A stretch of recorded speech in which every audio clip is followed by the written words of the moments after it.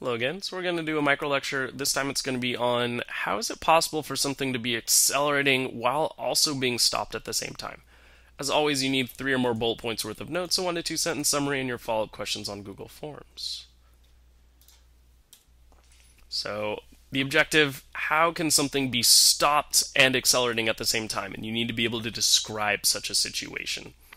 So we're going to start off by looking at this scenario where a man just threw a ball upwards and gravity's pulling it down. So gravity begins by slowing it down as it goes up, and then it begins to change direction and go the other way.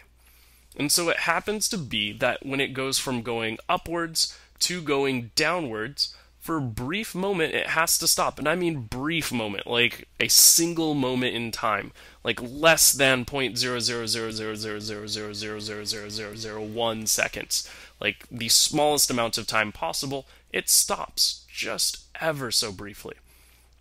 But if we think about it, if gravity is causing the ball to accelerate, so gravity is the only thing causing it to change speed here, and gravity doesn't turn off, like you can't just switch gravity on and off, then that means that for that brief moment in time at the very top when it stops, it's still accelerating because of gravity. So therefore the ball is still accelerating even while it is stopped at the very top.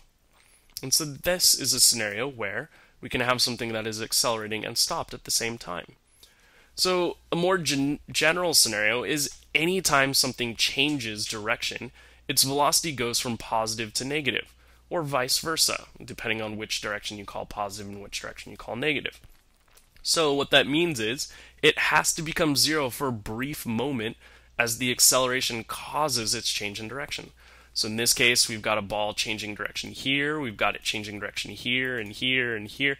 And so we can see that as it changes direction, it's also being accelerated, and there's a moment where it is both stopped instantaneously and accelerating at the same time.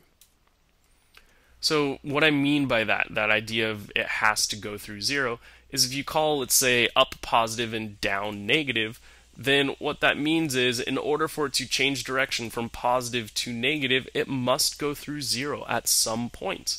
And this is kind of why something has to, or why something can be stopped and at the same time accelerating.